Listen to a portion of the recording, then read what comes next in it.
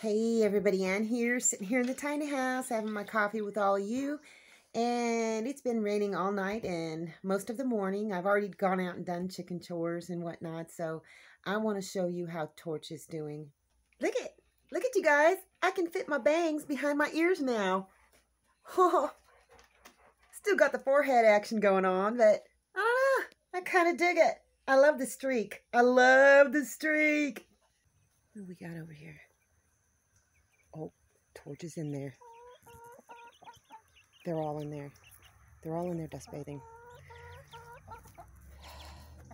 And look at Torch's crop is all. Oh, oh.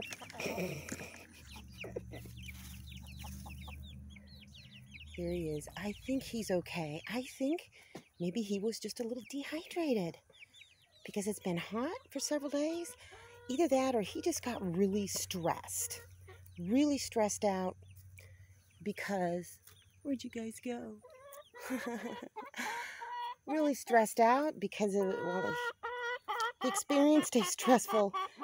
What's up, girl? He experienced a stressful event, and I think that may have had something to do with it. And he freaked him out, and he quit eating, quit drinking. But looks like all is well now. What we got over here? One baby chicken. Did you guys lay your eggs yet?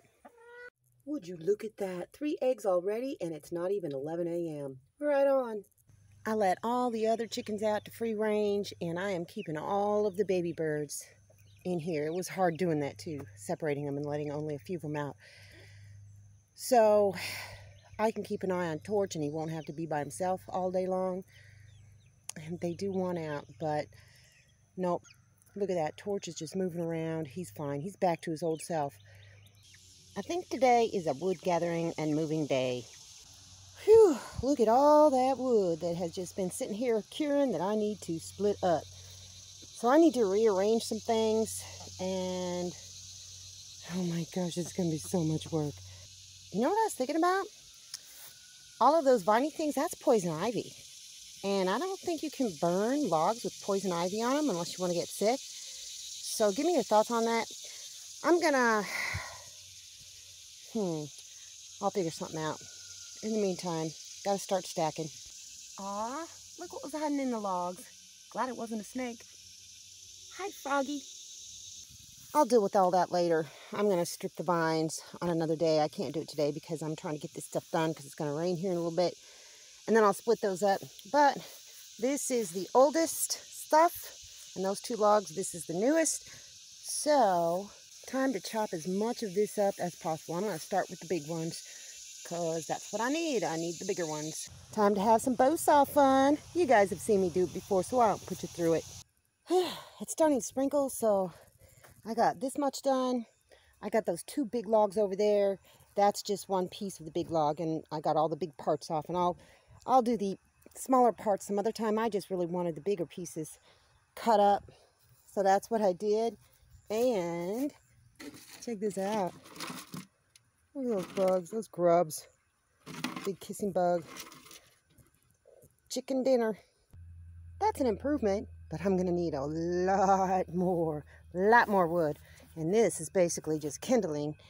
So, yeah, next step, split all that. What I want is wood from here all the way over to here and all the way up to here. you think I could do it? I got a long ways to go. It only rained for a minute, so I'm to see if I can tackle some of this. You know what time it is. Ta-da! I got it all the way up to the back of the tiny house, and there's a little bit more over here. I can get that tomorrow, because it is officially starting to rain. I did good. Well, one of the little birds escaped, so I opened the gates for them all. Come on, Torch. Oh, come on. Go around the other way. I'm tired. I have no patience right now.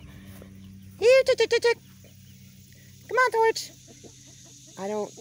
There we go. The other door isn't open, so... There. Look it. He's back to his old self. Just a little bit of nurturing, and he's better. I think, I don't know, maybe he was just stressed. Maybe this, this thing that happened to him just stressed him out so much. Look at him. Look at him go. He's back to the normal torch. I don't think I have to worry now. I just need to make sure that this is a calm, stress-free environment for my chickens. And, um, well, just enjoy them. Look at them all. They're all out. Hi, Romeo. You give me a cock-a-doodle-doo? Look who's in there. You see him?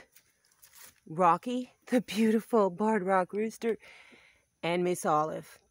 I have had to relocate them here because they were terrorizing the Easter eggers too much. There was feather loss and crying and gnashing at teeth at roosting time. So, yeah, that wasn't a good idea, but I still love them. And I'm going to give him this nice tray of mixed greens because I love them. And so I'm probably going to have to enclose this yard and figure out a way to, you know, let them roam around out here so they can't hurt other chickens. He's loving it. Olive will come by later. Maybe she'll come by now. I still love them, but I need to keep the other chickens safe. Look at my multicolored peppers, you guys. Look. There's two plants in this one. This plant's to give me yellow peppers. This one's to give me green. It looks like this one's to give me green. There's two plants in this one. Looks like this is to be green. Um, I can't tell what these are to be because they're too small. This plant's to give me yellow, I think. Don't know about this one. This one's too small yet. This one's too small yet. But they're starting to so show some fruiting. Yeah, that one looks like it's going to be a green pepper. These green bean plants are freaking me out. This one's doing really well. And yeah, it's going to give me some beans here eventually. This one started coming back and it looks like it's trying to die again. So why would one be doing good and the other not? They're both the same soil. I have no idea. All this cayenne from my dyeing experiment is starting to ripen. And these have so many peppers on them, they're starting to lean over. I wish they would start ripening soon so I could start drying them out. And of course a nice tray of mixed greens for the Easter eggers. I'm going to have to shoo these chickens away. You already got your greens. You're out free ranging. All of you. Go. Well, a few of them have figured it out. There's still one who can't figure it out. How to get to the greens. Poor chicken. You gotta go out. Uh, well, she's got to figure it out. That's funny. I had to split it up. I split it up because one of them just couldn't figure it out. She'd leave the coop and come over here and keep circling back and forth inside the pen. So everybody's happy now. Look at that. They're really going to town on it now. Oh yeah, they love it. You know, I bring in worms to them too. They won't eat the earthworms. They, they just look at it like it's some weird foreign creature.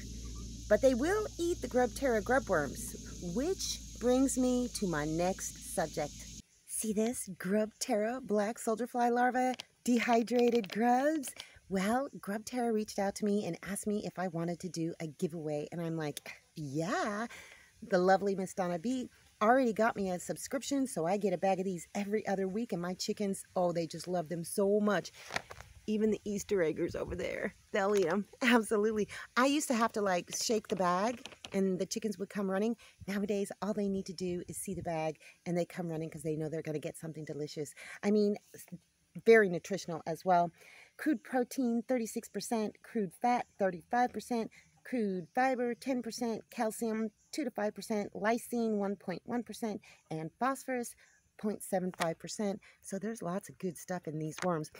So if you want a free bag of this and you own chickens, yeah, you got to own chickens or poultry, you know, or, you know, some other animal that might eat these, but you got to own a farm animal that would be likely to eat these and just leave me a comment down below. Tell me how many chickens you got or ducks or whatever and um, how much you would love to have some of this and I'll write your name down and I will put it in a hat and draw from the hat and I'll make a video of me doing it too so it'll be all fair.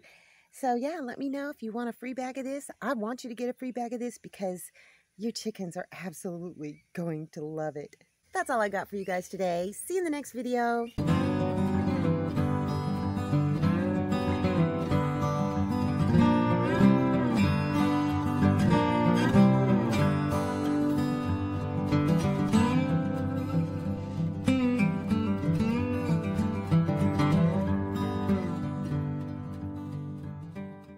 Thanks for watching, everybody. I hope you enjoyed the video. Make sure you like, subscribe, hit the bell, and y'all have a good one.